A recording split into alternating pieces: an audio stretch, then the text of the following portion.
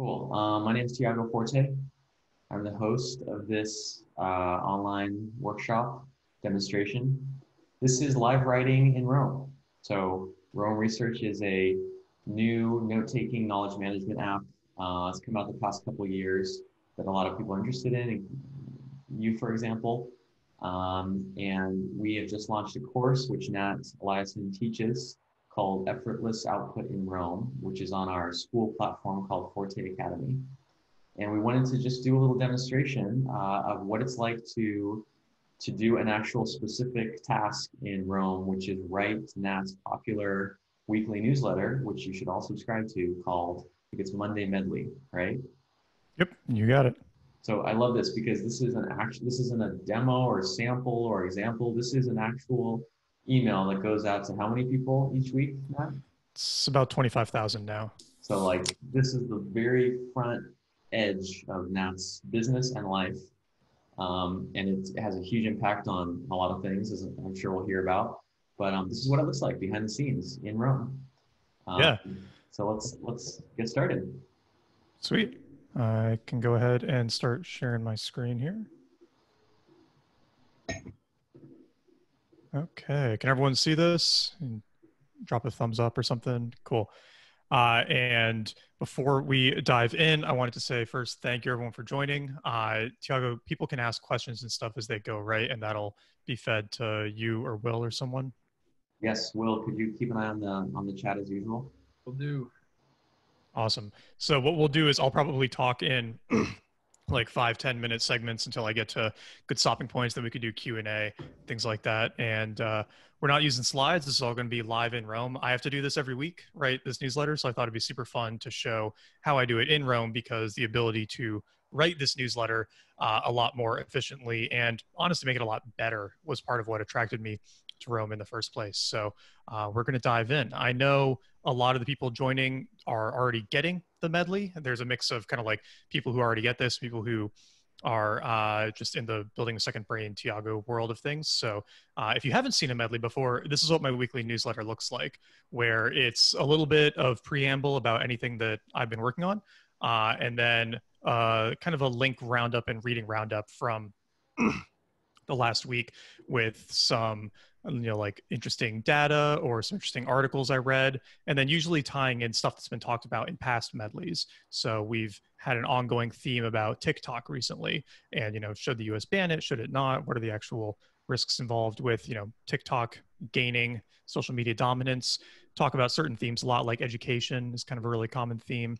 And it's really just things that i'm interested in and things that a lot of my friends are interested in. And i try to read a pretty diverse set of things each week so that i can uh, put this newsletter together each week. And it's actually turned into a really nice uh, like forcing function to use chris sparks's terminology where uh, now i know that i have to keep this good each week and so i have to keep you know stay on top of my reading habit and make sure that i'm collecting a, good set of things so that i can feature it uh, each week in the newsletter so Roam is really, really cool for this uh, just because of how it lets you organize and use information.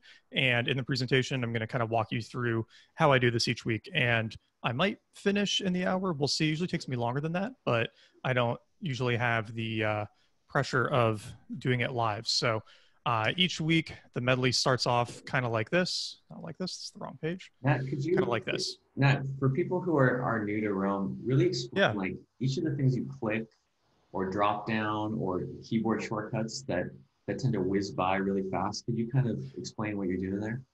Yeah, that that's a really good tip. So uh, basically, what's going on here is Roam, similar to Evernote or Notion, is a collection of individual pages, right? Uh, and the big difference in Roam is this kind of built-in uh, ability to do bidirectional linking between pages. So in this case, this is the page for Medley 225. The one before was the page for Medley 224, right? This is the one that I sent out last week. And then 225 is the one that I'll be sending out next week. So when I go up here and I'm clicking on this, these are just recent pages that I've worked on. So this is an article I published on Wednesday. These are some of the places we're going to go to in future videos. This is an article I'm working on for next week. But uh, basically this is just like the search bar. So if you're in Evernote or Notion or anything and you're looking for pages, you can bring this up and then we could type 225 to try to find, you know, Medley 225 and it's going to filter out everything with 225 in it. And then I'll just click on Medley 225. And you know what I'm actually going to do is this is the one downside of Roam search feature is that it's also a way to create pages. And so I accidentally made a page just called 225. And so I'm just going to delete that because otherwise we're going to keep landing on it over and over again uh, throughout this video. So on the Medley 225 page, uh, right now I have basically nothing prepared for it, uh, which is a kind of common situation to end up in at the end of the week if I haven't done a good job organizing my stuff for it during the week. I've kind of artificially reduced the things for it this week so I can show you the whole process, but a lot of the times I might open this page and you can see there's only two other pages in my Roam database right now that are linked to uh, Medley 225. So this is a tweet that uh, Kyle Harrison shared on Twitter, which is a link to a YouTube video. Uh, and we can actually click this to go to um, the tweet that he sent. So if we open this up, this is going to show us.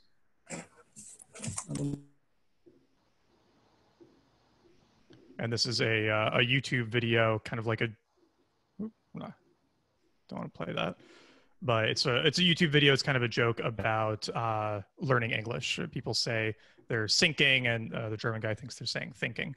Uh, it was a reference to something friend Neil and I tweeted about a podcast made you think that we're uh, bringing back in the near future. But I just thought this was really funny, so uh, I tagged it as you know funny and just for fun, and then Medley 225. And the value of this is that when I'm on the Medley 225 page, I've got this page here, and if I wanted to include it in the newsletter, I can kind of open it in the sidebar and I could say, okay, I can ignore this. This is kind of like the metadata for uh, the tweet, but this is the YouTube link that I want to include. So I'm going to just put it in here as a placeholder. Can I ask a couple questions now? Yeah, go ahead. How did you open that sidebar? Hmm. If you shift click on anything, and this is actually one of my favorite features of Roam that makes it really different from uh, like Notion in particular is if if I were in Notion and I wanted to go back and forth between these two pages, I'd have to kind of like keep flipping between them or like open a separate Notion instance. Roam has this built-in sidebar where you can shift click on anything to open it up as something on the side. And so now I've opened up both of these. I've opened up this tweet from Kyle as well as my article on uh, podcast highlighting. And so if I was starting off the medley, I might say something like, this week I published an article on making podcast listening more productive. You know, Tiago, is there any way to turn off the prompts to? Hmm, oh, here we go. There we go. All right. Uh, the you know the floating meeting panel thing that pops up when you're screen sharing. Every time it pops up, it takes me out of being able to type, but I think it's okay now. Um, on listening podcast on making podcast listening more. Now it's still doing it. All right one sec. I'm gonna have to find a way to get rid of this thing. It, like a little sharing bar you mean? Yeah yeah. Or is there any way to make it so that i'm not getting chat notifications? In the chat there is a, a actual instruction someone left on how to do that there is okay. I think I just got it, but let's see if if uh, it comes back or not. But uh, I know I did. Okay, sorry, I got to go look at. Somebody just explained how to do it in the chat. I think.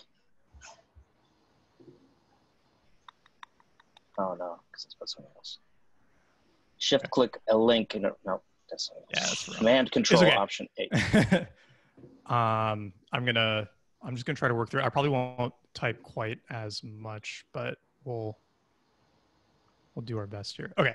So anyway, one of the first things that I'd want to put in the newsletter is anything new that I published that week. So I might say something like this, you know, I published an article on making podcast listening more productive. And then uh, by opening this in the sidebar, I don't have to go to the page, copy the link, right? Go back and then paste it, right? I could just do it, you know, right from here, right? Where I can copy it, put it in, and then uh, I've got like this one part of the Medley pulled into it. So the sidebar is cool because then as I'm kind of like working on what I want to say to describe it, I've got like all the information right here. So I can be working on the medley in one pane and be looking at everything I included in the article uh, in the other. So I wouldn't do it for my own article, but as you'll see later on, I'm going to quote things from other uh, articles and stuff that I've read, and this makes it super, super easy to do that. Uh, the other thing that's really nice with Roam is you've got this like bidirectional linking feature, right? So you can see that in my podcast listening article, I'm linking to Medley 225, right? Which is the reason that the podcast listening article is showing up down here in the references to Medley 225, right? They're kind of like connected together. And so this is what tells me that this is something I want to include uh, in the Medley this week when I'm on the Medley page. But at this point, I've already added it to the Medley, right? I don't need it down here anymore to remind me to include it. So I can actually add a little tag here that says added. And then in the references to the Medley 225, I can filter it to hide anything that has the added tag. And now the only stuff that's left as a linked reference are the stuff that I haven't added that added tag to, right? If I go back here and delete it, now it's going to show up again, right? But as soon as I add it, it's going to go away. Uh, and this is really nice because this kind of lets me create a to-do list of things to include uh, in the newsletter, and then I can sort of I can start working through these references to find things to bring into it. And then once I go ahead and close this out, since I also opened Kyle's tweet over here, I could just go ahead and I'm going to copy this Twitter link. I'm going to say uh, this would go towards the bottom of the newsletter where I'd say something like just for fun, I'd make this a heading. And then I'd say, uh, my friend Kyle shared this video of. All right, I'm just going to put this for now because I think typing is just going to be too hard with the chat popping up, but that's fine. Uh, anyway, so, and then I've got this added and that will disappear as well, right? Uh, but this is obviously not much of a newsletter. so uh, we want to get more material for it. Uh, and there's a couple places we can go for this. If you're in building a second brain or you've done, or you've read anything on getting things done or whatnot, then you know the value of having an inbox, right? And for me, the inbox in Roam is stuff that needs to be processed. Now, so whenever okay. I real quick, I think I I can have you quickly turn off chat notifications. It's, it's oh, in your, I? Okay. your Zoom app, like the app preferences. All right. Open that up. Yeah, one second. I'm going to stop sharing and do that. Because, yeah, it would be nice if I could. And then go to the chat submenu.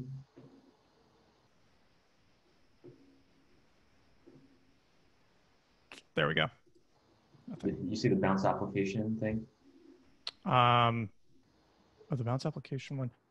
I just turned off all push notifications. So let me see.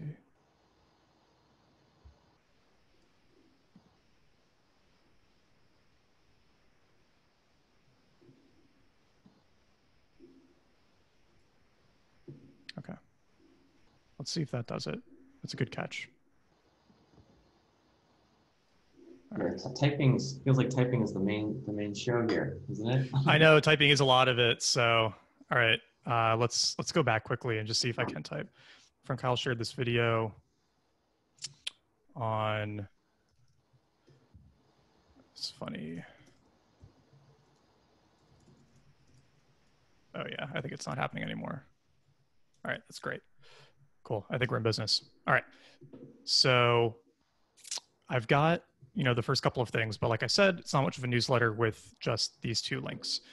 So there's a couple places that I like to store information that I want to include in the medley. And the inbox, again, if you're familiar with building a second brain or getting things done, uh, is a great place to do that. So basically, whenever I add a new piece of information to Roam, I tag it with this inbox tag, which tells me that this is something that needs to be processed. I either need to uh, update my notes from it, or I need to add a bit more context to it, or I need to file it somewhere else, add some more tags, anything like that. So this is just a really good holding place. And there's a lot of ways to get information into your inbox. So for example, if I were on my daily notes page, which is the page that you kind of like start or you start on whenever you open Roam for the day, I might add something like did the live writing workshop with Tiago. And this is going to link this text to Tiago's page for, and I'm going to link this to Roam Course V2. So on- to bring up that little drop down, you're just hitting bracket twice, right? Yeah, you just hit bracket twice and then you can start typing anything and it'll help you link it to that page. So we could add like building a second brain here and these would these would all have it tagged together. So I'll show you what that means in a second. Live writing workshop with Tiago, building a second brain, and then I'm also going to throw in um, 225, right?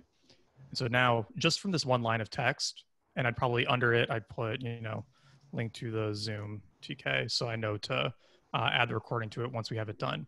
But now this one block of text is linked to all four of these pages. If I go back to Medley 225, here's this note and, you know, the reminder that I should include it. If I go to the building a second brain page, you know, here it is, right?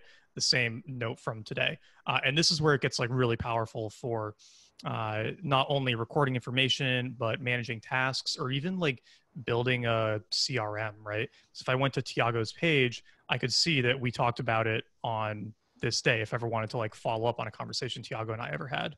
Uh, so it, it, gets pretty powerful pretty quickly just with really simple things like linking pages together. Um, and I, then, you know, can I ask Mhm. something? Why don't you use your daily notes as an inbox? Why do you use an inbox tag? So the reason I do that is because I don't want to have to go back through all of my daily notes to find things that need to be processed. Uh, this is kind of like the inbox for the inbox to me. So what I might do, uh, you know what, it didn't fix the notifications thing, um, but that's okay.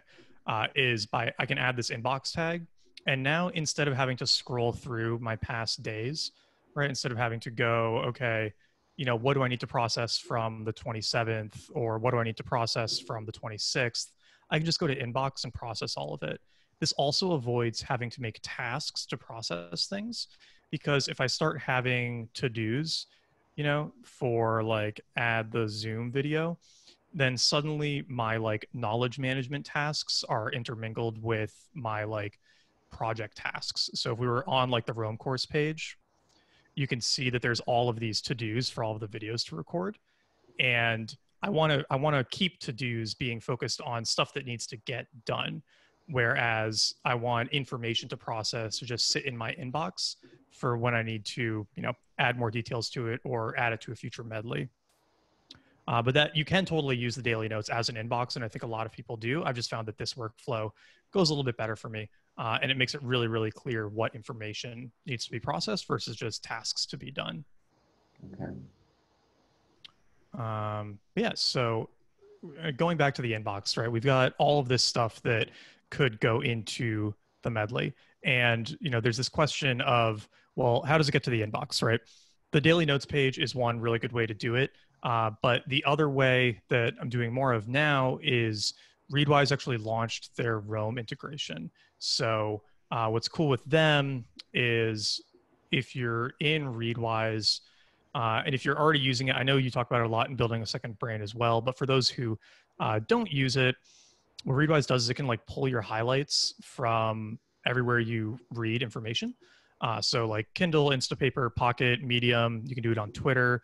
You can use this highlighting tool called Hypothesis. You can save podcast highlights with Airr. It's super super robust. Um, you can pull in all this information from everywhere, and then Readwise can send it out to uh, Evernote, Notion, and now Roam as well. So if you if you are using Roam uh, with and you want to use it with Readwise, you can go to the URL Magical Trash Panda, which is which is a reference to like a, a joke. I think Conor made in a conversation with you once, Tiago, about Roam being like the magical trash panda of information. Um, and what's really cool with with the Readwise Roam integration is you can like customize all the metadata that comes through. So if we're looking at something in my Roam database here, like uh, like this, I didn't write any of this. Readwise filled all of this in for me. Uh, all I did was read this article on Instapaper and make these highlights, and then Readwise plugged these highlights into my database and added all of this information for me. Very cool. So, yeah, right. Like, so now I know this was the author. Here's the exact URL if I want to find it. and you can see that it can detect if it's an article, add the articles tag. If it's a book, add the books tag. If it's a tweet, add the tweets tag. And so, you know, for me, I use this articles tag a ton. Like opening this page sometimes crashes my database because there's yeah 276 linked articles here that I can go sort through. And you know, if I wanted to filter by articles on uh, you know, COVID 19, right? I've got 33 articles here related to COVID 19 that I could look through. We're going to use this later for building out the medley, but um, Readwise fills in all this information, so I don't have to do that much else. You know, I, I nobody recommended this, so I'm going to delete that. The medley, I'm going to change this from backlog to 225, and now it's going to be tagged on the 225 page. And then I'll probably add a few other tags here, right? Like uh, holistic management, since that's what it's about uh, regenerative agriculture, a couple things like that. And it's related to my Roam course capstone project, so I'm going to add the capstone pay tag too. And at this point, I've sort of done enough to the article. I could also do a layer of progressive summarization if I wanted to.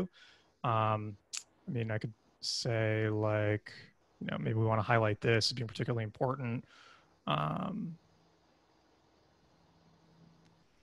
like this as well. It's just it's a little bit skimmable next time. But now when I'm on the 225 page, I've got these two things that don't have the added tag, right? So I still need to include them. Uh, and I'm starting to fill out everything else that needs to go in the medley. And when I go back to inbox, now there's one fewer thing for me to review because I've processed that page. All right.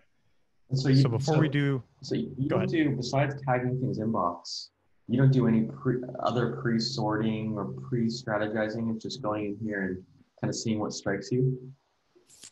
Uh, for the medley. Yeah. Typically, yeah. I mean, the other thing I'll do is sometimes if I find something during the week that I know I want to include in that medley, uh, then I'll go ahead and like tag it for the upcoming medley. But I like, I typically, I'll come into inbox and what I might do is something like, you know, in this blueprint for Armageddon. I don't know if I want to include that in this medley, so I'm going to leave it in the backlog because step one is going to be going through the inbox. And in doing this, I've kind of both done my like PKM cleanup for the week and I've written my newsletter. And if I'm looking at this, I don't know if I'm going to have anything else related to like history or war in this medley. And I typically don't like to have sections with just one item. So for now, I'm going to leave it in the backlog. And what I'll do is I'll go to the backlog when I'm like out of stuff to include and I want to add more material, or if I want to look for anything else that might be relevant to the medley. So, one good example of this is um, these books, The Power Broker and The Logic of Collective Action. I finished these about a month ago. I just haven't found a good medley to include them in because I've been talking about the Roam course and I don't want to distract it by talking about book notes. Right. I try to limit the amount I talk about like myself and the things I'm doing versus providing interesting links to other stuff for people to read. So these are just kind of like sitting in the backlog for when there's a good medley to include them. Yeah, I, I love that. I had a similar mindset shift where I thought as soon as I had anything new to share, it had to be shared immediately. ¿Cómo te How are you? Hello. Good and you? Who's that? Who's that? Oh, okay. Um, take care of it. Uh, I would try to share it immediately. Like I felt like a back. Oh, I shouldn't have a backlog. Backlog is bad. Is bad.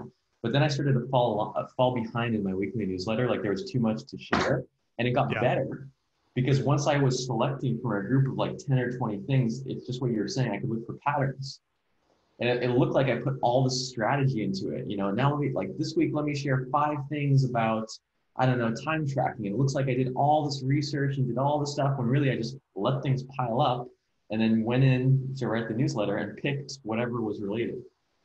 Yeah, it, it makes it a little bit easier to create themes in the newsletter too, uh, just because you know one you can pick the stuff that you've got in your backlog that is related and create some more interesting like cohesive newsletter. And uh, because of some of the power of Roam, you can pull out a lot of your past information to reference to. So I'm going to show you an example of that because one thing that I like to do when I kind of start this process is go into Readwise and make sure that everything is up to date. So, for example, I know I read some stuff on Instapaper this morning after the last sync, So I want to kind of manually run the Instapaper sync. And yeah, you can see it's pulling in a few of these other articles I read. And the great thing about this is as soon as it pulls them in, should just take like a couple of seconds, uh, we'll be able to go run the export into Roam. And then these will be in my inbox as well, uh, which is going to help with like putting everything together. Well, so we'll let that run. That, um, Will, any questions you want to surface from the chat? I don't know if this is a stopping point now, but no, this is a great stopping point. Yeah, I mean, there's a handful of just tactical questions. Um, I guess we had a question earlier uh, towards the beginning. Uh, Nat, if you create pages for each article you plan to share, or do you just link from your daily note? Uh, there's uh, the question is, I'm fuzzy on when to create pages and when to just use the daily note. Yeah, my rule for that is basically that I create a new page whenever there's more than one highlight or note from the article. So if I'm going to be pulling out a few highlights, right, or a few different notes from it, then it makes sense for it to have its own page. But if it's just a small thing, so like this is a good example, right? This is a document on Airbnb's guidance on tax deductions, right? So I'm just going to link this, say, yeah, those chats, right? Airbnb, right? Taxes, something like that. Uh, and then I can delete this inbox. And I might actually, you know what, I'll throw this in the Medley backlog as well. Because this is kind of like an interesting document that somebody had sent me that might be useful to people. Uh, and then I'll delete the inbox tag. But since I don't have any highlights from it yet, I don't really need to make a page for it. Uh, that said, you know, what I might do is whenever I go back and read it, then I want to change it to, you know, an actual page. But for now, it could just be a link that pops up if I go to my Airbnb page, right? Because now uh, if I'm on Airbnb and I'm looking at, okay, you know, info on Airbnb, right, here it is. And you know, again, I could make a page for it in the future, but for now, it's totally fine, just kind of being a standalone link that I could still include uh, in the medley. Great. Um, we had another question from Stephanie Nat. How do you mark your notes to distinguish between quotes, paraphrases, and your own ideas that arise from when you're learning, such as evergreen? Yeah, I I do that poorly is my answer, unfortunately. Um, I mean, I, I don't like having quotations around the quotes from the article. So typically my rule is if it's something like this, right, where uh, I've got like all these highlights from this piece, these are all going to be the actual lines from the article or from the book. And then if I want to comment on them, I'll put it as sub bullets. So you know, I let me try to find a good example here. Um,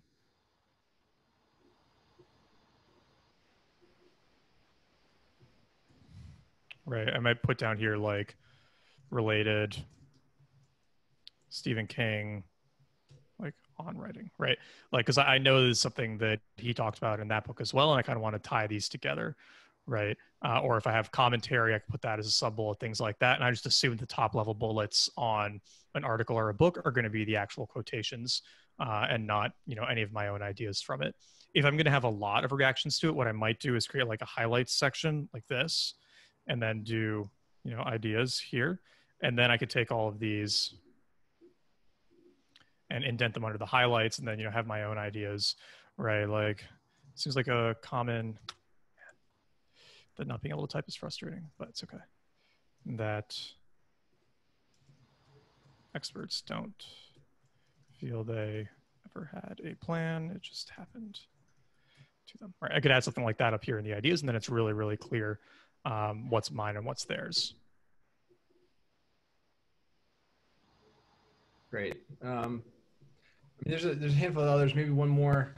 Um, mm-hmm. Oh, that was we already asked that one. Um, oh yeah, what, this is from Santosh. Why don't you make it a brackets medley two two five inbox, and use that as your inbox? Um, is, it would just be too many pages, I think. You know, because I could like, I could have uh, medley two two five inbox, but then, and I did something similar to that in the past. The downside was I would frequently lose articles because then I'd have to, you know, when I'm writing 226 or 227, if anything didn't get used on 225, I'd have to go back and change all of those links to be 226, 227, stuff like that. Whereas if it all just sits in the backlog until I know I want to include it, I never have to go back and update which medley it says it's going into. But this one I know is going into 225. So I'm going to go ahead and change that. Cool. That's a good chunk of the questions for now. I'll keep tracking them. Cool. All right. So at this point, it looks like everything, yep, everything that I was reading is uh, pulled into the inbox. So this is where things get a little bit more fun. So let's say that I want to include this article, uh, which is you know related to like it's going to be related to COVID nineteen. It's going to be related to kind of like the weird sort of recession that we're in, um, economics, e-commerce right? There's a ton of topics here that this is related to. And this has been another very common theme in the medley for anybody who's already on it. You know that I, I like to talk about COVID, especially its effect on businesses. So this is definitely one that's going to make it into the medley, right? I'm going to say, okay, let's put this in 225. And when I've got something like this where I know uh, I've got a couple things I want to relate to it, what I might do is just uh, I'll shift click on the title, which is going to open it in the sidebar and then I'll click on 225, which is going to take me back to here. And I'm going to make a new section called the world of business in COVID. I'll make that H2. Is this an H2 or an H3? Yeah, H2. And then under it, I'm going to start by talking about this article, right? So I'm going to say New York Times did a good analysis on how spending habits have changed during COVID 19. So just a little intro like that. Link it. Okay. Um, and then I'm going to start talking about uh, you know some of the key points in the article. Right. One thing that stands out is how much business changed differently in different states. Okay. Now this is where Roam starts to get kind of cool is if we've got kind of sections here that uh, we want to use in the post, instead of like copying and pasting them, what we can do is we can do like a, an alt drag. So I'm going to hold down alt and drag this over. And now that uh, block of text is on this page as well. But you can see from this little orange bar that it's referencing a block on another page. So if we close this for a second, if I click on this, it will take me to this block of text on this page. And then if I'm on this page and I see this block of text, you can see this little one by it, which tells me this block of text has been referenced somewhere else in my database, in this case, Medley 225. Now, I might want to add some bolding or add some other text to it. So I don't want to keep it exactly the same, but I do want to keep that reference. So I'm going to click on this and then I'm going to click replace with text and alias. And now I've got this little star here after the text, which tells me it originally came from this page, but I can start, you know, editing this to however I want it. So I might, you know, highlight this and I'll put it in quotations. Whoops. I'll put quotation marks around it and I might make it italics just to be really clear that this is a quote from the article uh, and then maybe I'll add some more commentary after it, right? Uh, or I say like, you know, clearly in some states they've been able to rebound pretty quickly. Meanwhile, in others, and then I'm going to shift click this again just to bring it back up. Shift click that to get the whole article. Uh, I'll drag in this Massachusetts quotation, right? So I'll say Massachusetts. We'll do the same thing right? Text and alias. Maybe put some of the same formatting again.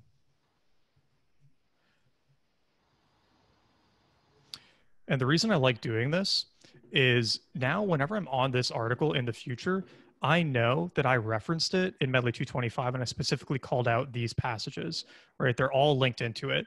And in the future, if I come back to it, you know, for another article or another medley where I'm talking about COVID, I'll know when I've talked about it in the past. Because the other thing that I could do here is if I'm working on 225 and I'm saying, okay, what else related to like COVID do I want to talk about? I might open up my COVID 19 page uh, in the sidebar and then say, okay, show me all of my COVID 19 mentions. Now, this is a huge number of mentions, so I don't really want all of them, but I can filter it and I can say, show me any related to a COVID 19 recession this is a great example of this, right? Like V-shaped recovery for me, L-shaped recovery for thee. This is a really good article on how different people are being affected by the virus differently and how different businesses are being affected by it. And I know that I mentioned this 15 weeks ago in Medley 210, right? So I can say like this reminds me of what I believe this is by Byrne Hobart. Let me just double check that. Diff is Byrne's newsletter, I think. Yeah, cool. This reminds me of what Byrne Hobart said in his article on, you know,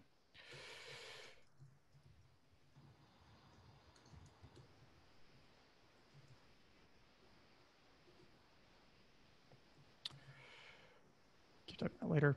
Um, small businesses just evaporate. Real estate's taken over by big companies. Um, you know, some of these are going to run out of businesses really, run out of business really quickly. Uh, the the thing from this article that actually reminded me of the V-shaped recovery, if we bring it back up, is there was this line down here about how like, despite fewer visits to bars, Americans kept drinking, and you know, Drizzly, yeah, Drizly mini bar sales are up 500 percent right? So I actually want to call that out as well. Um, and some businesses, especially online ones, are doing exceptionally well at replacing what physical businesses used to do.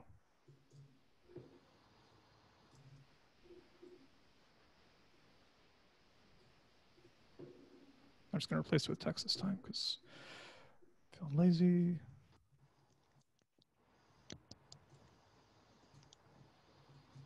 Now we can link it to the Byrne article better, right? businesses in a position to shift to online more rapidly are going to survive and probably come out better than before. Versus businesses that can't adapt. And then we could pull an article or a quotation from the Byrne Hobart article as well.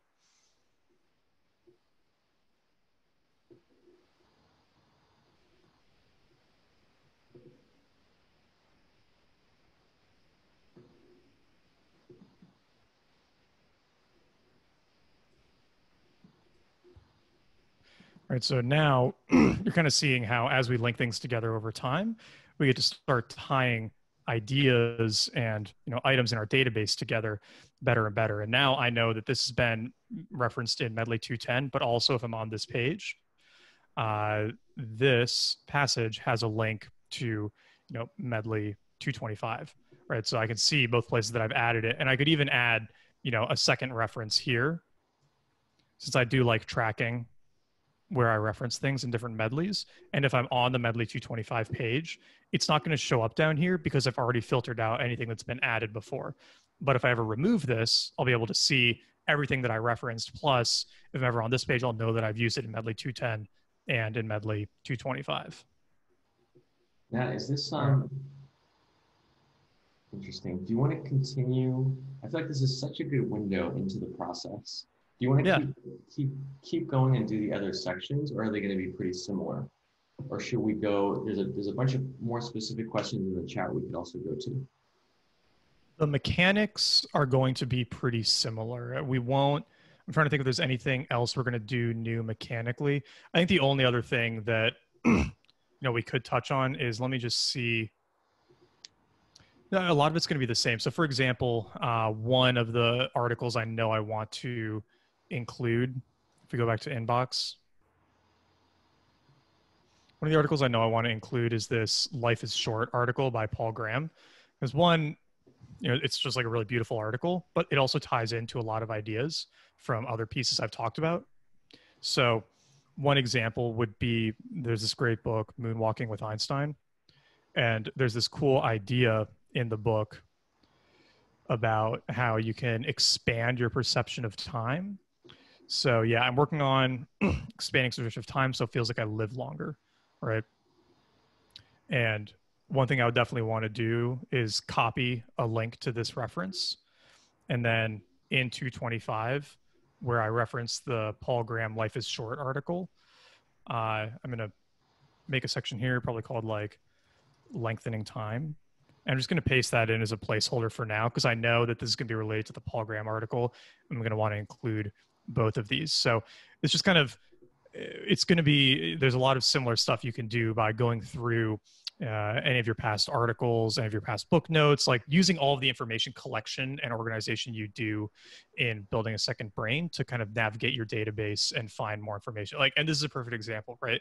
How digital media distorts our sense of time. This is an incredible article by Aaron Lewis about how like the way that we interact with the web changes how we perceive time. And this wasn't even something I was thinking of including in this medley or relating to the Paul Graham and uh, Josh Foer pieces, but it fits perfectly with that whole theme. And I've kind of just like accidentally rediscovered it uh, here while we're talking. And I'd throw this How to Time Travel article by Brian Chesky, one of the founders of Airbnb, in there as well. Cause like these all fit into very similar ideas and they can all play together into a really nice theme in one section of the newsletter. So just doing a good job of like tagging and sifting through your information allows you to kind of like rediscover and create these connections that you might not otherwise uh, intuitively make. Amazing. This is so cool. It's really cool to see a concrete example. Um, Nat, uh, Will and I both have calls at the top of the hour. Do you want to Okay. finish at that time, or do you do we? We could also make you the host, and you could stay off, stay on a bit Yeah. after. Why don't you just make me the host? I'll, I'll stay on and answer questions as long as uh, people want to keep asking them. Um, can't say all night, obviously, but I, I had budgeted until 3.20, 3.30, assuming people wanted to keep asking questions. Uh, I will say that shameless plug, uh, nateliason.com slash power of Roam is like an email course that goes over a lot of this stuff. So you can check that out, or you can just check out the course that I'm doing, part of Forte Labs now called Effortless Output in Roam. It's at effortlessoutput.com. Um, but I'm going to try to cover everything I possibly can based on what people want to hear uh, while we are here. Let me just get the chat back though, because I had like hidden it. There's All some right, cool. there's some bigger picture Um, questions that I liked. Uh, like Wendy asked, I'll kind of broaden the question a bit, but what are the areas of your life that you use this? I'm sensing there's some people in the chat that are really hardcore Roam users. They probably know all the YouTube channels and all the Twitter accounts and all the places to go. But for people just coming into this world, like what are the different parts of your life that you use this tool for? I literally use it for everything. I mean, let's see. This is my like uh, that's not gonna be very helpful. Like this is my plan for the week. So this is like all of the core work that I need to get done this week that's not specifically related to the growth machine stuff that's in my Asana.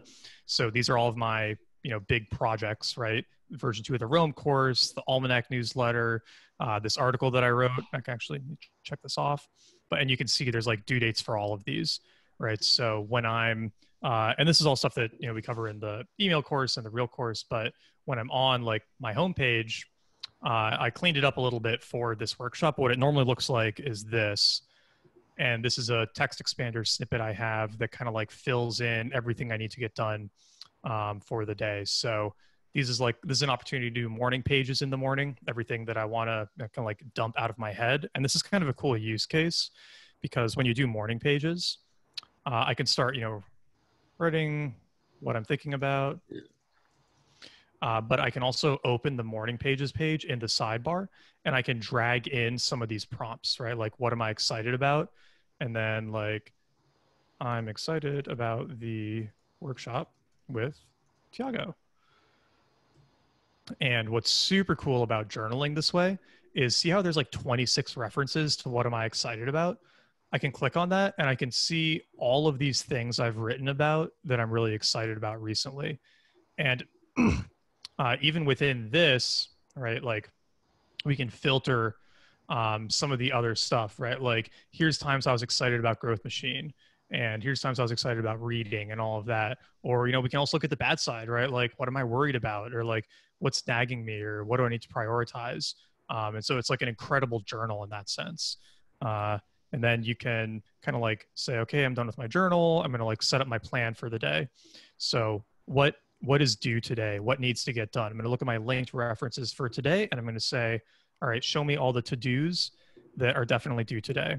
All right, I have to finish the advanced functions videos for the Roam course. I have to send a follow up email for everybody who, for everyone who attends this webinar. Right, so like I still have to do that.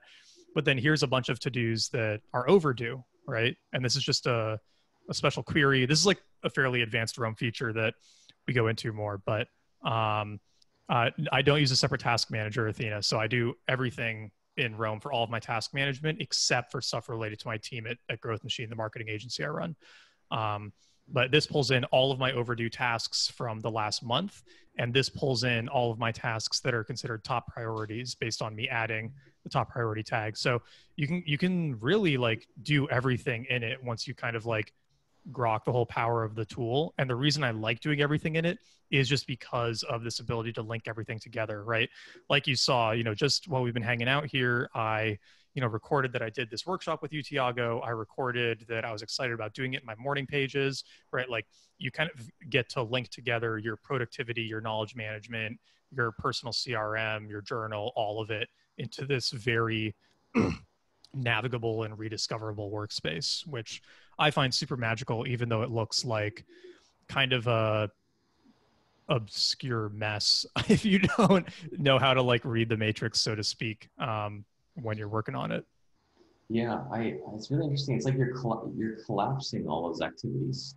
Your book notes, your journaling, your newsletter writing, your project management, all sort of just become tags. They become like strands within your own database. Yeah. And I think that this is like a really it's kind of an important question you have to ask yourself is like do you want to optimize for uh, functionality and uh, potential or do you want to optimize for like ease of use and like user experience? Because this is very low on user experience and ease of use uh, especially as like a new user but it's very high on like potential right? There's like a ton you can do with it once you know how to work in it but you know, this is like a really nice uh, custom CSS theme called Leyendecker. I did not create this. I just slightly modified someone else's. But even with this, this is still kind of like an ugly system, right? like it does not look as nice as Notion. Uh, and but I'm okay with that because I know that it lets me do all this really cool like intermingling of everything in my life. And I probably spend like half of my day in Roam at this point, uh, just because I'm doing so much of my writing and planning and like obviously like preparing stuff for these presentations, laying out stuff that I'm working on, going over my projects. You could see how robust a project can get as you like break everything out, right? You're collapsing bullets and there's bullets inside bullets with their own to-dos and it's there's there's a lot of potential to go pretty deep as you get more and more familiar with the tool. Yeah. Yeah, Cynthia had a good question. What do you do about offline access if, if you're doing so much of your life in Roam? And I'll add to that mobile. What do you do when you don't have an internet connection, uh, if that ever comes up, or on your phone? Yeah, so not having internet connection honestly just doesn't come up. Uh, it works fine on airplanes if you've got the downloaded Roam like I do. So if you're if you're using Roam on your browser, you can click these and there's a button to like download Roam. Can't remember what it is. Um, I would strongly recommend it if you're using it a lot just because one, it lets you have a standalone Roam instance outside your browser. And I personally like having it super full screen. So it's really nice for that. And it does local caching better. So I worked on my database for like three hours on a plane with no internet access, reconnected to internet later, and updated totally fine. In terms of mobile, I one, I generally don't like trying to be productive on my phone. I think that it's just not what the device is made for. Um, so I don't really worry too much about having access to my productivity tools on my phone. But then mobile capture is actually pretty good. So if you load Roam on your phone, it will default you to something called like the quick capture page, where you can just type something and then hit save, and it will get saved into a block on that day's daily note under this hashtag quick capture. And I'll usually just add like an inbox tag to it as well um, or you know if it's a to do it'll just get saved as to done like this is a perfect example. I was i was driving out to like bastrop texas and i saw this company arnold custom home builders with like tiny homes on the side of the road and they looked really cool. And so i just like wrote down the url and tagged it with tiny homes on the quick capture in Roam and just saved it and i figured i could update it later. Um, So quick capture is pretty good, and then it doesn't require you to like optimize a lot of stuff on the go. But then also now there's the Readwise integration. If you're like reading on Instapaper or seeing something on Twitter or whatever, you can just feed it into Readwise, and then they take care of a lot of the saving of the info for you. Very cool. Very cool. Let's see here. So you don't use a task manager anymore. All the tasks are in Roam. All the tasks are in Roam. You know, again, with the exception of when I have to work with other people, right? Like multiplayer Roam is not very good yet. So if you're doing like a company wiki or you're managing a project with a bunch of other people, Asana, Notion, those things are going to be way better. But for personal project management and for like creative stuff, I love having it all in Roam.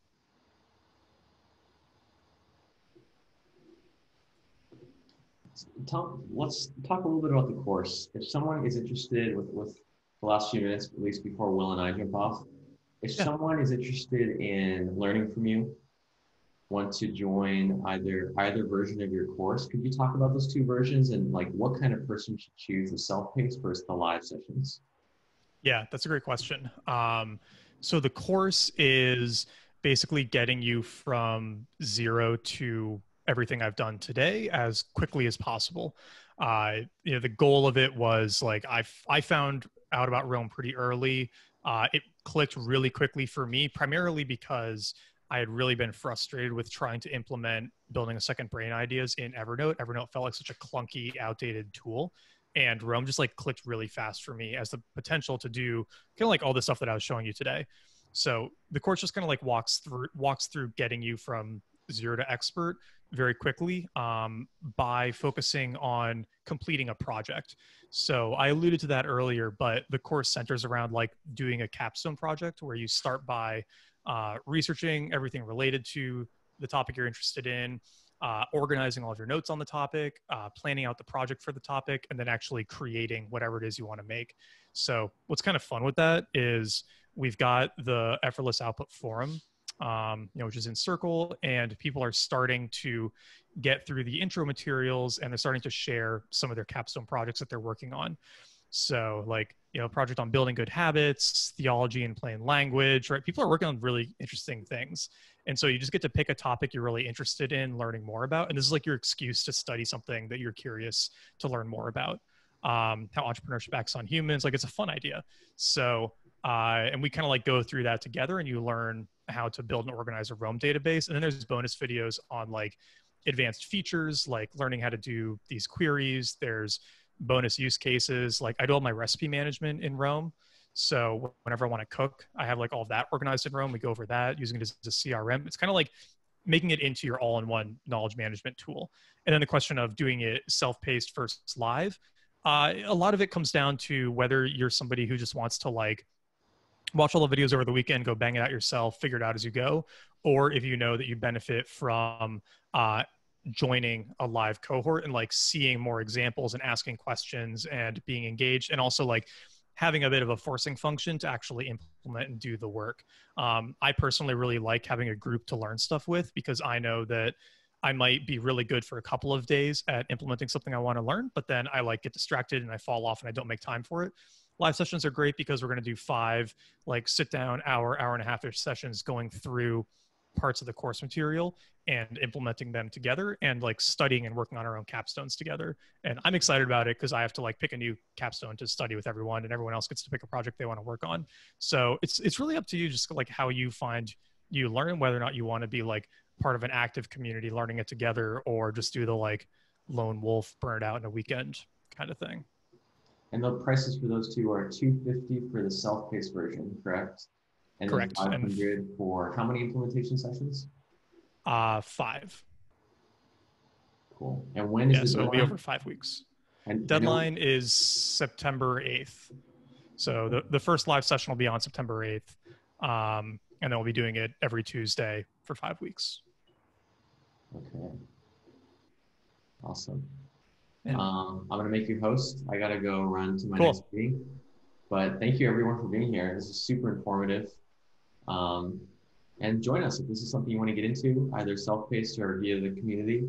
It's really amazing to learn with others, especially in this time of COVID where there's so little human contact. Um, so have fun and don't, don't be too, take it easy on that. hey, we, we still got over 300 people here, so I'm happy to hang out and answer questions for a little while. I, I'm ready. Okay, thanks, guys. Have fun. See you, Tiago. See you, Will. You guys. All right. I feel like the parents have gone and now we can just have fun.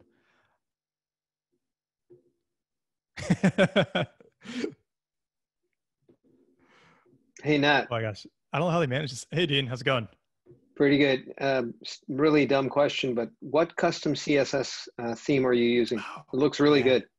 Thank you. Um, you know what? This is the other cool thing uh, with the course, although actually anybody can access it, is, and I'm going to share this in the chat. Uh, oh, by the way, this is how Quick Capture works. If you save something on your phone, you'll you'll get a prompt like this to sync your Quick Capture notes. But the the theme I'm using is called Leyendecker. But uh, in I've got a public Roam And you've modified it a bit because it looks a, a little less uh, Yeah, the, yeah, yeah. The color's a little bit different. Uh, I'm gonna I'm gonna share a link to how I modified it for all of you. Um, I also changed it so that the like the tag styles are for articles and books and podcasts and things that I use the most. So if you're doing the course, you're reading in my other materials, it'll work really nicely with uh, implementing implementing that theme. Um, if this loads, this database is hard to load sometimes because so many people have accessed it. But once it does, I'll, I'll share the link with everyone. Hi, um, I had a Kelly. question. Hi. So I'm in the cohort um, number 11 here with Build a Second Brain. Um, I've been using Evernote for a decade. I'm probably going to stick with that for now with that.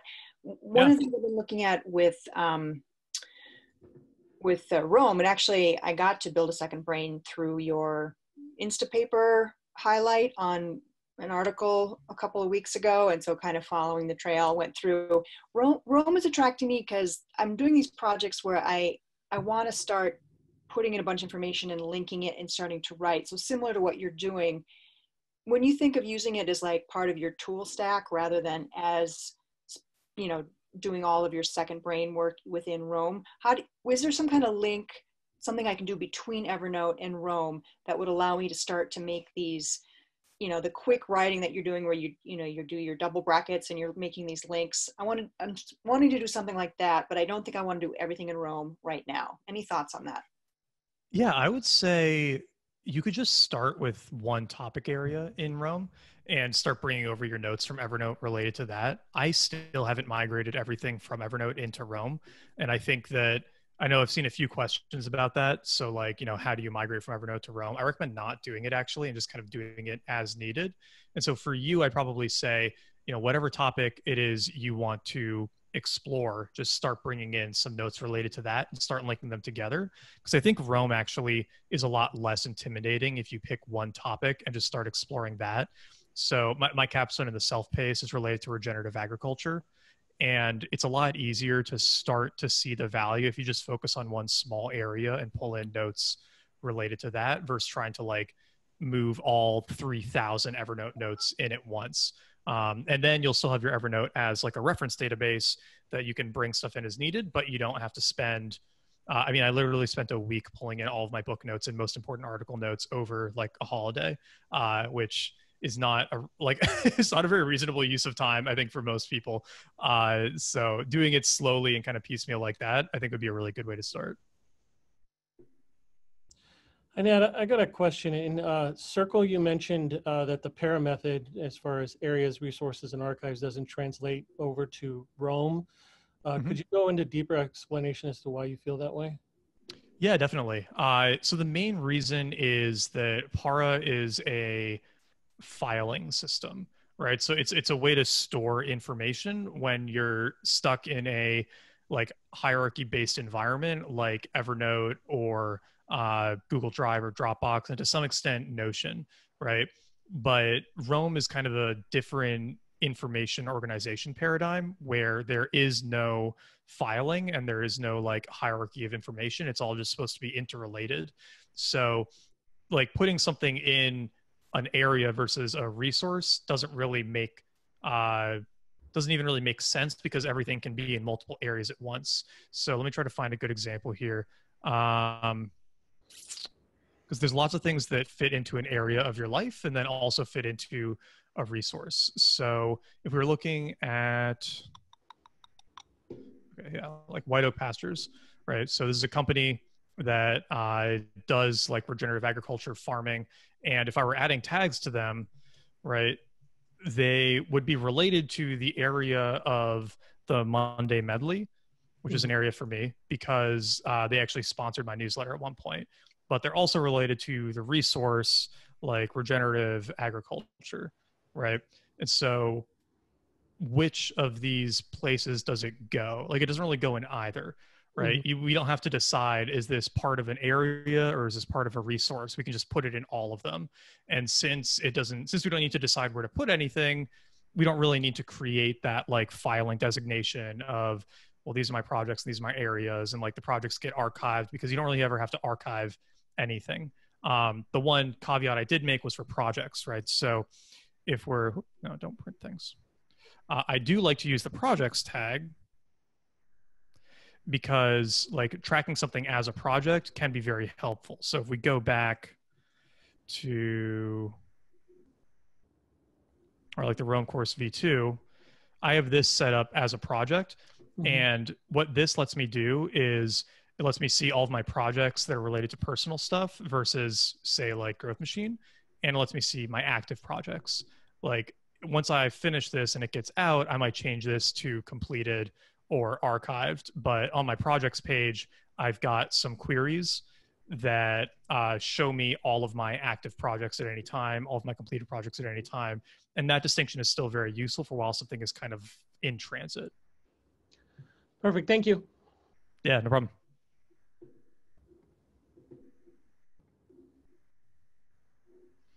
You tag multiple pages at once? Yeah, definitely. I mean, that's sort of what we've been doing throughout the course, right? Is uh, we've been like adding a bunch of tags. I mean, because each of these are actually pages, right? Projects is a page. Um, the like personal is a page, active is a page, Tiago's a page, David's a page. So anytime we're adding one of these tags, we're linking to tons of pages. Or each of these time we add a tag, we're linking to one page. We can add a lot of these in any individual block or bullet. Uh, Diana, there's not really a good way to keep track of all your tags. It's sort of a combination of memory and rediscovery. One thing that helps a lot is if we go back to, like, let's say that we're on this white oak page and I'm trying to think of what things I need to tag it as. I might open my regenerative agriculture page and then I might say, what else relates to regenerative agriculture? So, like, what else is linking to it? And this is going to show me kind of like everything else. So is White Oak related to holistic management? Yeah, I could add that. I could add environmentalism. I could add meat. I could add climate change, add nutrition, health. And if you're more of a visual person, this is kind of cool. You can see like a visual graph of it. And so from White Oak, I could click to like Reg Ag and then see, okay, what else is Reg Ag linked to? Um, force of nature, White Oak pastures, holistic management. What is that linked to? Uh, you know, Allan Savory, what's he linked to, right? You can find other stuff that's been interlinked before just by going through these like linked reference graphs. Hi, Nat. This is Amaya. Inter- hey, Amaya. Speaking about visual people, how do you keep track of images? Do you do a lot of image uh, research?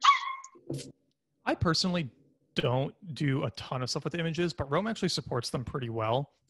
So if we go to um, this article that I was working on. Uh, where is it?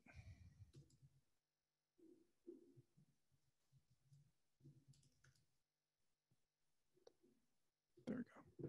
Oops. Cool. Uh, you can actually drag in images from other places or just copy and paste them and Roam will upload and store them on Firebase for you. And then uh, you'll have them like kind of right here in your database, and you can add tags to them. Or I could tag this like EPA uh, or whatever else I wanted to add to it.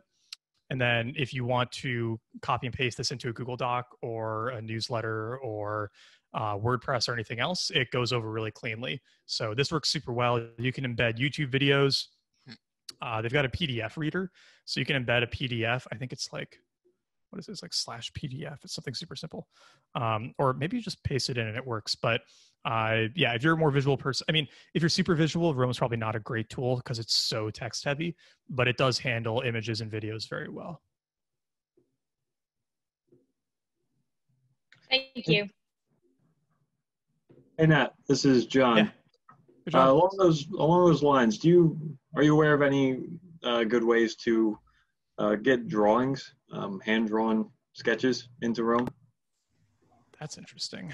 Uh, well, I mean, there'd be a couple ways. There's a there is a Roam Share shortcut for iOS. So if you're if you're drawing something by hand on like your iPad or if you draw something, you take a picture of it. There is a share shortcut that you can download. Um, if you search Roam Share shortcut and click around, you'll find it. This is it. Um, and that lets you immediately share stuff into your Roam database from your phone. So that's pretty powerful.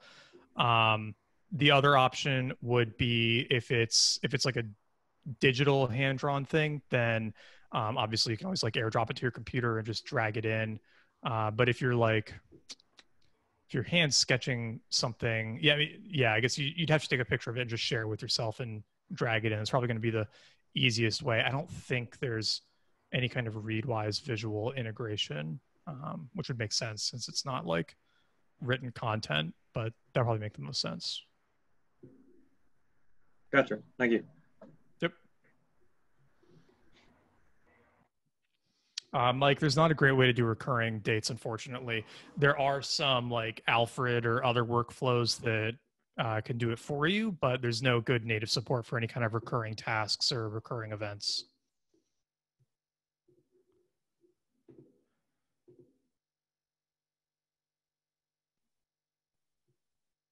Oh yeah, Kevin. Uh, you literally can just copy and paste from Roam into ConvertKit, and it goes over super cleanly. Like if you the the main trick is let me show you last week's medley. The the big trick is to right click this, and um, normally it's going to be view as bulleted list, right, with bullets. But if you right click the heading of the page and change to view as document, that gets rid of the bullets and turns it into paragraphs and the headings will transfer over, the links will transfer over, all of this will copy over really cleanly into ConvertKit, WordPress, Webflow, wherever you need it. I will say on ConvertKit, it doesn't work in the new editor. You have to click to the legacy editor to have it go in cleanly. Yeah, document mode is sick, which is also really nice if you don't like seeing bullets while you're writing. Sometimes when I'm drafting, I don't want to see bullets. I want it to look like paragraphs. It's just like a visual thing, but it makes a difference. Uh, Joshua, yeah, I deep link to Google Docs and stuff a lot, uh, especially if I'm writing an article and I don't want to work on it in Roam anymore. Sometimes I find that switching to a Google Doc helps shake things up. So let me see if I have an example here. This is an article I published a few weeks ago. I think, yeah, exactly. So I started the draft in Roam, but I wasn't super happy with it and felt kind of stuck. So I just linked to a Google Doc here and then you know here's where i'm working on it on google uh, i'll do this with asana a lot too if there's some important asana tasks that i feel like i really need to make sure i get done i'm not always good at double checking asana so i might put those in Roam. or uh, the other thing I'll do a lot is I keep a lot of SOPs and processes in Notion, both for Growth Machine and for uh, my VA. And so I might put those into Roam Notes as well so that I know where in Notion to go get them from.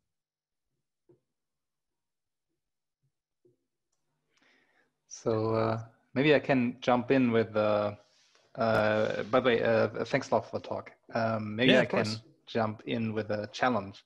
So I saw that you were using uh, links a lot in the way of tags. So, for example, you would tag things with inbox, and then you would go to the inbox page, which is, which is basically empty, and you're only looking at the list of backlinks. Yes. So kind of my challenge would be couldn't you do this in evernote if you just use tags? For example you would have an inbox tag or you would have a tag saying episode number 225 and so on. And wouldn't you get basically the same effect? And I, I guess you don't but i would be interested in why not. Yeah, I think the big difference is it's like if we're doing tags in Evernote, I don't even know what my Evernote looks like, so I'm gonna bring it up, but I don't even know what data is gonna pop up. So if it's anything sensitive, I'll just close it because I didn't scrub it for this. But uh, I mean, as I remember tags in Evernote, they're just up here, right? So when we're adding like a tag, we're gonna um, put it on the document itself, right? Say like company growth. But if this individual tag here is really related to biology, I can't just go like hashtag biology, right?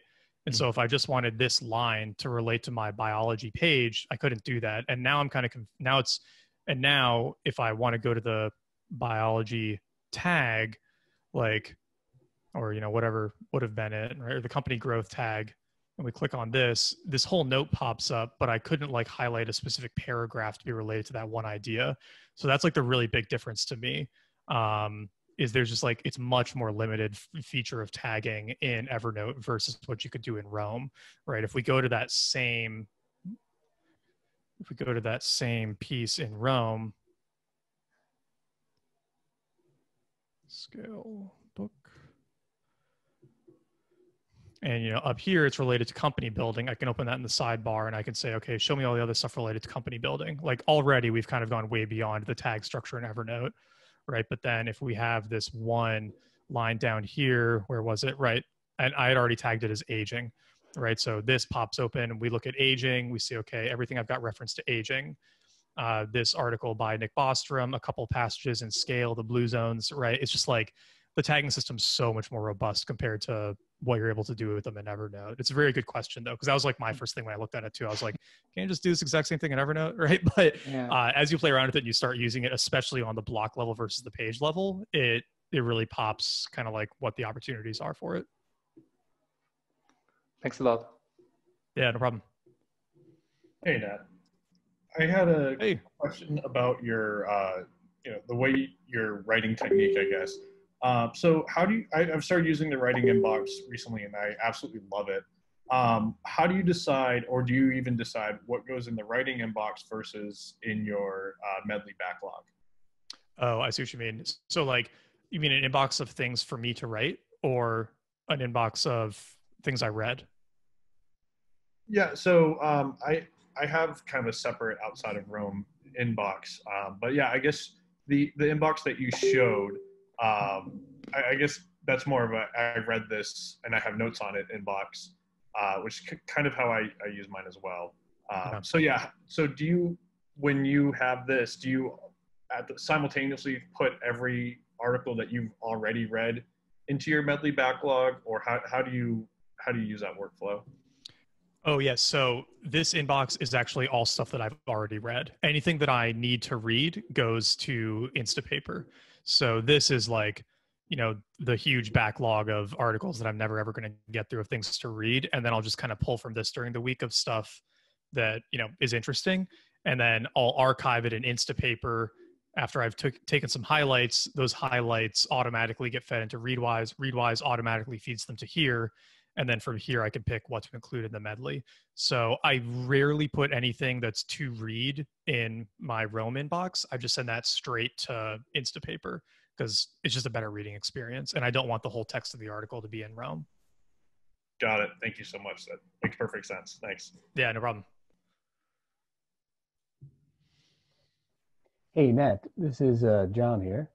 hey john Just on that, just on that last point you said, um, not wanting the whole text to be in there. When you have brought in large chunks of text, like um, I work in graduate school and stuff, and so it's there's these huge chunks of text that I'm sort of working through. But when I paste them into Roam, it gets really funky. So I just decided not to spend that much time. But I wonder if there's any tips on importing like actual larger chunks of text.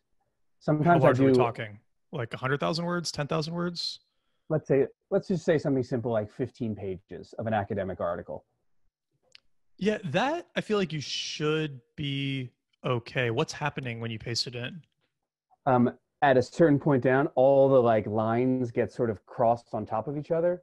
So rather than just pasting it in with a um, with the one bullet i'll do the sort of i'll rather than just pasting it, I'll do like Command Shift V, and Yeah. that'll post it in just within one dot. That seems to work okay, one bullet.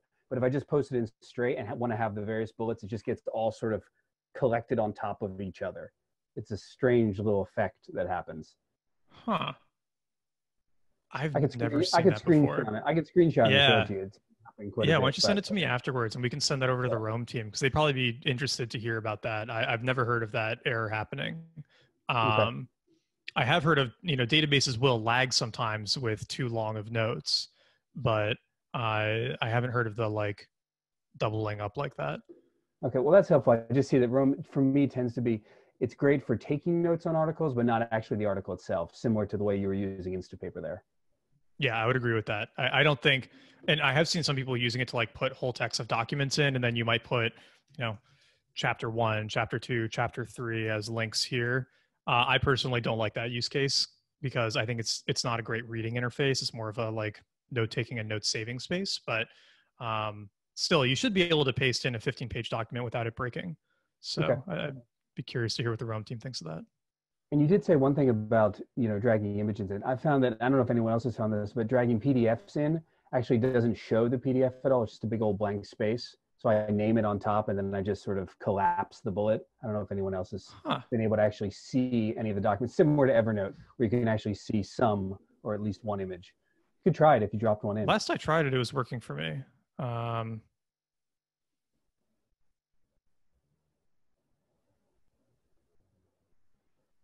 okay, I don't have a PDF here I can show on chat, but uh, I, get, I get tired of going back into Evernote to find the PDF, so I sort of like having the reference there, right there, where I could pull it up if I need to. John, have you forced an update on your database recently? Oh no, I haven't. If you click the three dots, there's this check for updates option. Maybe try that. Oh, it's okay, great. possible that it's possible that if like that for whatever reason you might not have updated in a long time. Mine actually got stuck on an old uh, instance at 1.2, and I was starting to get weird performance things like that. So if anyone's running into those issues, I would try that as well. And if you're still getting them, then yeah, let's send it to the Roam team because they probably like to hear about it. Okay, sweet, awesome, thanks. Yeah, no problem. All right, we'll take a few more here. Oh, uh, I don't use any custom JavaScript right now. I, I, I honestly just don't like getting crazy complicated with the things that I'm doing. Uh, I know this seems crazy complicated, but it's fairly simple compared to what some people get with like their really insane Roam JavaScript table whatever setups. Um, so I haven't played with JavaScript as a lot. I think that there's like a fine line between doing cool stuff with the tool for the sake of doing cool stuff and like doing cool stuff that actually helps you accomplish your goals. And I haven't found a lot of that like super fringe JavaScript stuff that actually helps me accomplish my goals of like note taking and writing. Um, but I'm definitely open to find stuff that does. So Nat. Also, um, plus, oh, go ahead, Samantha. Oh, I um I asked in the form a few times, but I do um some professional uh, proposals, and I need to put citations at the bottom or footnotes. And so I'm just having trouble like where to put them and how you would organize them so they're easy to access when I'm putting the paper together and have to put the citations in the in the paper. Yeah, well, I would probably, uh, I'd probably do it similar to what I was doing in the medley. So uh, let's just make. Oh my gosh! I swear I can type. That's still spelled wrong, but whatever. Uh, so if we, you know, had this, and then we opened up that scale book again, and if I wanted to reference like this block here, Mhm. what I'd probably do is, you know, copy it in. I'd change this to, you know, text and alias. And then maybe change this to like a one. And then the one, right, is going to be related to scale. And then down here, we could do something like footnotes, right? And then under that, we're going to make this a numbered list. And so now number one is going to be scale book. And then we're going to just copy a block ref here. Um, or actually, you know what? Maybe we would change it. We do it like this. So we copy this block ref, and instead of this one going to the actual book, it would just go down to the bottom of the page. So now you could just copy this anytime you need to reference scale. And then if you clicked this later on, you would see every time in your citations that you referenced this while you were working. Does that Okay, make so sense? like- Is that what you're trying to do? Or Yeah, so if I wanted to use like, you know, MLA or Chicago style, you would just put instead of one of your um, items would be like where it says tags would just be citation. So, I so that- actually don't know anything about MLA in Chicago, unfortunately. Okay, So I I, don't, I don't know how much help I could be. Yeah, I just Um, wrote this professional proposal and I was doing it in in here and then I ended up just ended up moving over to Google after a while because I just got so frustrated with having to track all the footnotes and citations and Hmm. um, just being able to have them as I go, I guess. Yeah, I mean, so was the problem that it was hard to link from here back to here, or No, yeah, I was just having trouble finding a work, like just a way to work it, I guess. Like I had, a, I did a master's a few years ago. And so, you know, I'm reading through like 15 articles and then writing a summary paper. So as you go along, you've got to have the actual citation of where it came from, what page it came from, what book it came from, you know, the year. So I was just trying to figure out a way to do that in um, Roam efficiently. Yeah, I mean, I feel like the block references are going to get you there. You'll just have to go back and change this later to be the full name of the book, right?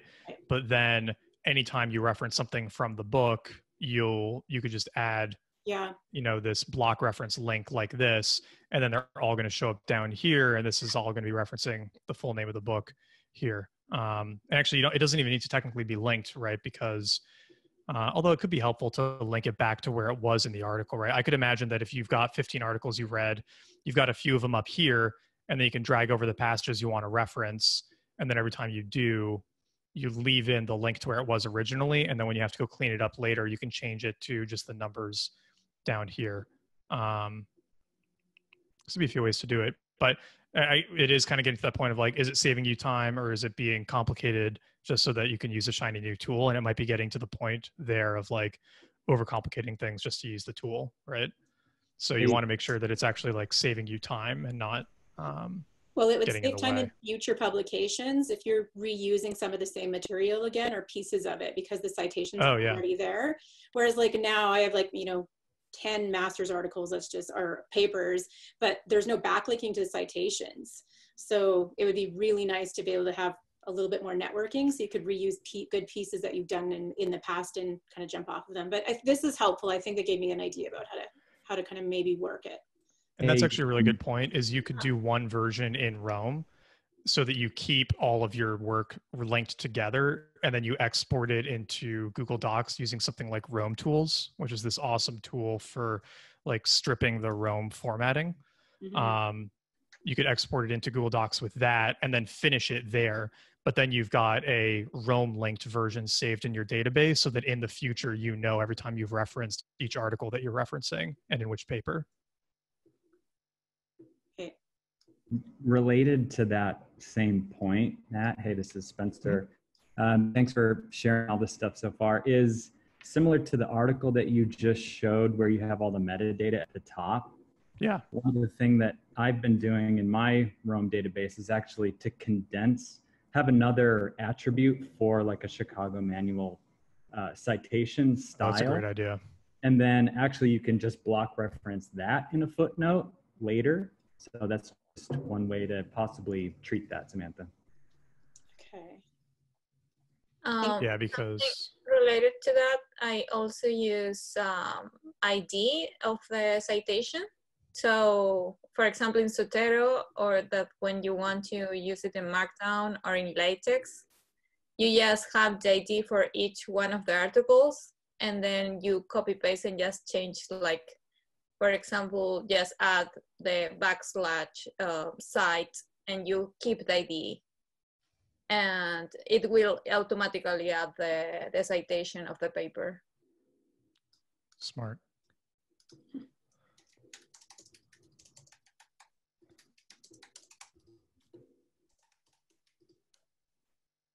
Yeah, this is definitely a tool I wish I had in college.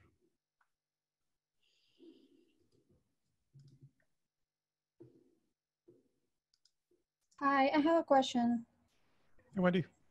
Hi, um, I wonder if this could be used in order to curate content from TikTok and Instagram. I just discovered Googling that I can connect Instagram to Instapaper and Instapaper to Roam.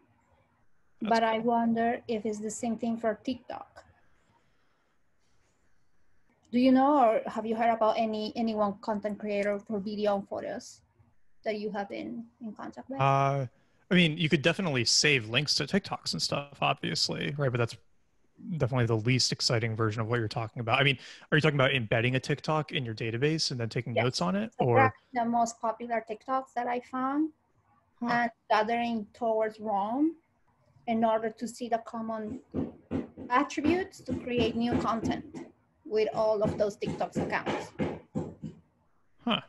Let's, let's just find a video. and Let's see if we can figure it out.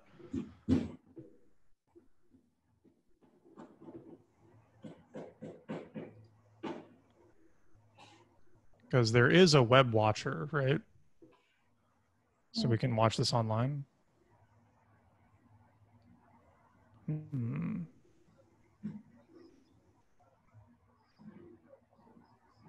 Yeah, I'm not sure. I mean, you you can embed some stuff. Okay, this is the share link. So if we copy the link and then we go back in, oh.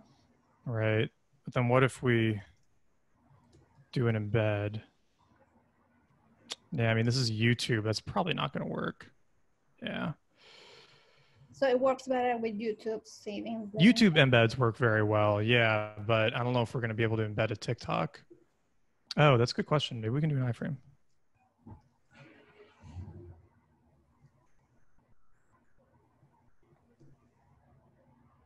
Yeah, that's okay. This would be a good question though, but um, yeah, I'm not sure if there's going to be a way to do it. Maybe in the future, though. I know they're working on supporting more like file systems or like not file systems, but like files so that you can do more and more stuff in here without having to leave. Like I like that you can embed YouTube videos and just watch them and take notes on them. That's kind of a neat use case. And what about Instagram? I just Googled and I just found that they can connect through Instapaper, but I have never used it. So I wonder if you did. No, I haven't used that either. It's probably going to be the same issue. If there's not a native embed and if iframes don't work, we're probably going to not really be able to do it very well. Okay.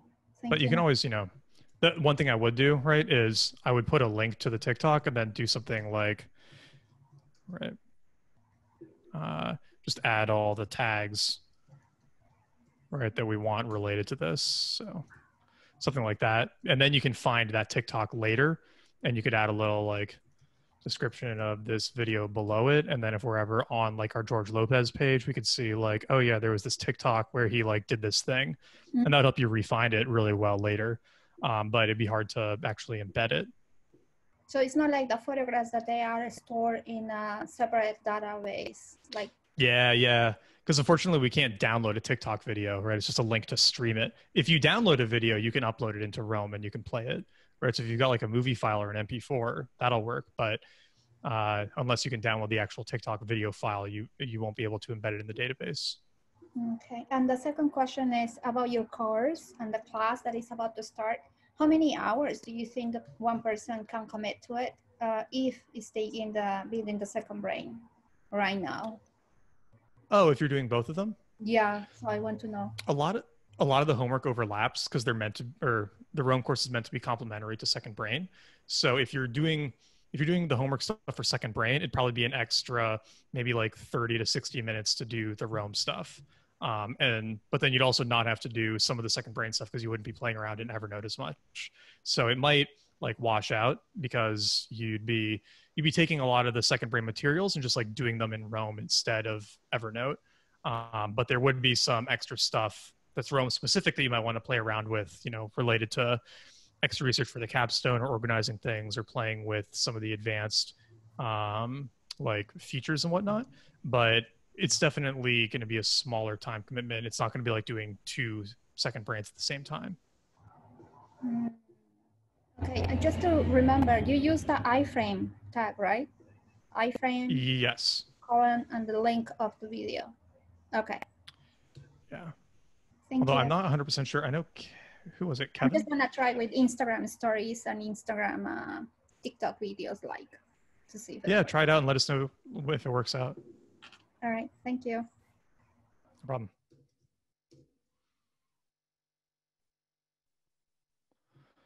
All right. Well, we're just at about 3:30, so I think we'll probably go ahead and wrap it up here. Um, you know, last things, if you have any follow-up questions, I'm super active on Twitter. It's just uh, at Nat Eliason, and happy to answer any other follow-up questions there. Send you any other like useful materials. Uh, the course is at effortlessoutput.com, and those live sessions are starting on September 8th. And then if you're if you want to see more like how to use Roam stuff before deciding if you want to take the course, you can just go to nateliason.com slash uh, power of Rome, not the power of Roam, power of Rome, and it will uh, take you here and you can put in your email address for those. But uh, I'll send a follow-up email as well with all these links. And uh, thanks everyone for joining. It's a lot of fun.